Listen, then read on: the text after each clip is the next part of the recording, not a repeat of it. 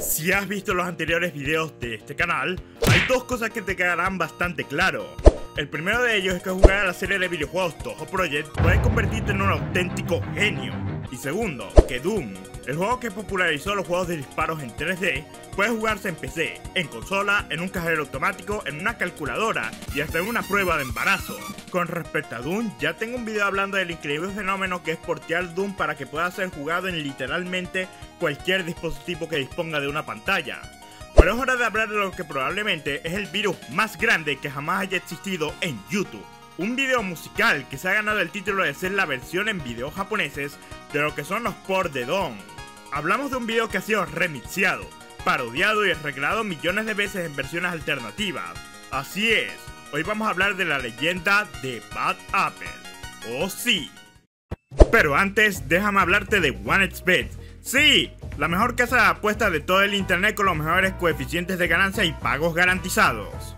El casino no es solo un lugar para tirar unas fichas y tomar unas copas. Se trata de la emoción de darlo todo en cada jugada y arriesgarte a ganar las mejores y más épicas emociones de tu vida. La plataforma incluye una amplia variedad de tragamonedas en los cuales podrás hacer un sinfín de apuestas y pasártelo a lo grande dentro de ella.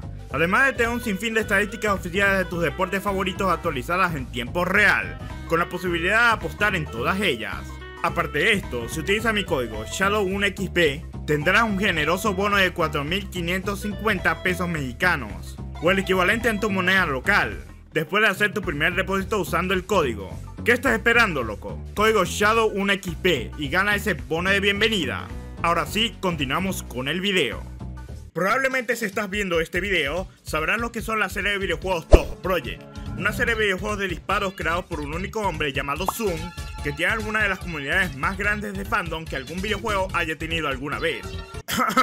Además de una gran comunidad doujin. Pero si hay algo por lo que principalmente se conoce esta saga de juegos es por su buenísima doujin, es por su buenísima banda sonora, uno de los aspectos más destacables de la serie.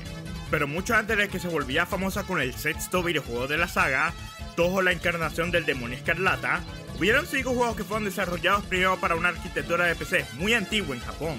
Entre estos se encontraba el cuarto juego de la saga, Lotus Land History, cuya banda sonora del tercer nivel era una canción conocida como Bad Apple o Manzana Podrida, la cual es esta que puedes escuchar aquí.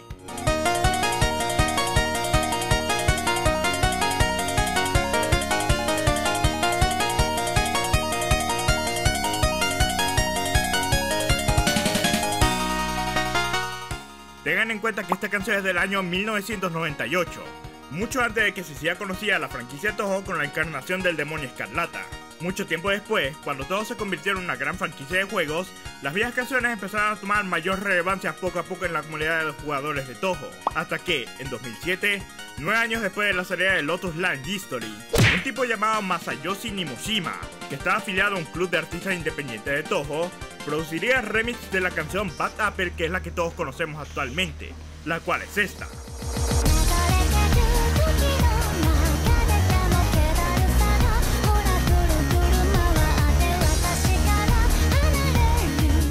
Y ahí pasaría un año hasta que el usuario Mi de la página de videos japoneses Nico Nico Douga publicaría un storyboard del que supuestamente sería la versión definitiva de la versión en video para Bad Apple, lo que motivó a muchos usuarios a seguir las instrucciones para tratar de producir esta versión, hasta que finalmente el usuario Anira publicó su último trabajo que mostraba con modelado 3D y arte de sombras todo un video que mostraba el elenco femenino de la serie Toho, que es el que conocemos actualmente.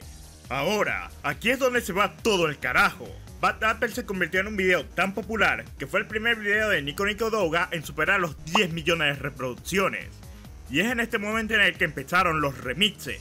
La canción era tan fácil de reproducir en su concepción que no solo la portearon a docenas de idiomas diferentes, le hicieron bailes coreografiados e incluso los famosos videos Mad de Nico Nico, sino que la gente se tomaba como un reto publicar Bad Apple en todas las formas posibles e imaginables. Esta es una lista de todas las versiones alternativas que pude encontrar de Bad Apple en YouTube, y desde ya les aviso que es una absoluta locura. Original. A color. Ajedrez. Axi. stop motion. Bad Apple pero hecho con manzana. En Minecraft. Balas del Counter Strike. IA. Subtítulos de YouTube. Virus de PC. Página de YouTube. No estoy muy seguro de lo que es esto. Mensaje de disco. Versión Among. Versión libro animado. Bobina de Tesla. Black Midi. Versión Google Maps. Versión Paint. En un Game Boy Speed. En un teclado RGB. Versión nube. Versión pirata. Versión código QR. Hecho en un pizarrón mágico. Hecho con 240 pantallas de 7 segmentos. Reproducido en un Apple II. Reproducido en un Sans Clip. Reproducido en un Pokémon Mini.